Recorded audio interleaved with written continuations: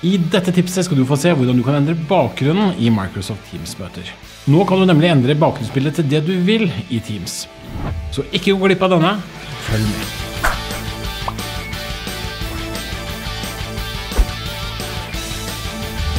Hei og velkommen til et nytt fredagstips. I dagens tips skal du få se hvordan du kan endre bakgrunnen når du har møter i Microsoft Teams. I et tidligere tips fikk du se hvordan du kunne gjøre bakgrunnen uskarp, men i denne nyheten fra Microsoft får du muligheten til å endre selve bakgrunnen din til noe annet. Her har Microsoft laget flere flotte bakgrunner som du kan velge mellom.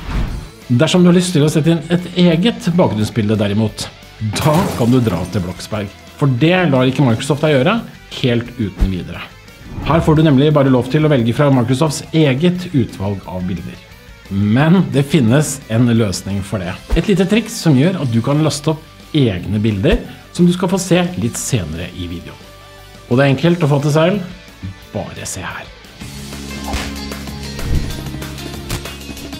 Du kan starte med å klikke deg inn på Teams. Her inne på møtet kan du velge de tre prikkene som du finner her ca. midt på menyen i Teams. Gå opp og velg Vis bakgrunnseffekter, slik som dette. På høyresiden her finner du nå flere muligheter til å manipulere bakgrunnen din.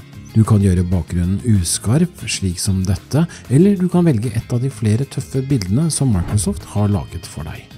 Her finner du alt fra stilige kontorbakgrunner til lekre utendørsscener med arkitektur og natur. Når du finner bildet du liker, klikker du bare på det og velger bruk.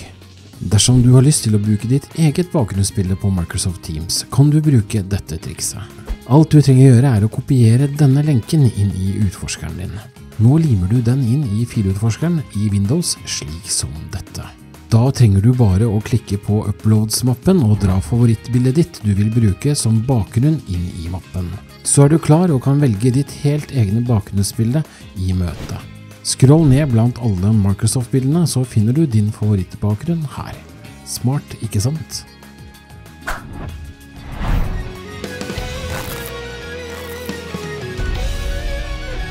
Det var alt vi hadde for i dag. Takk for at du så på. Likte du tipset og vil se flere tips fra oss, abonner gjerne på YouTube-kanalen vår.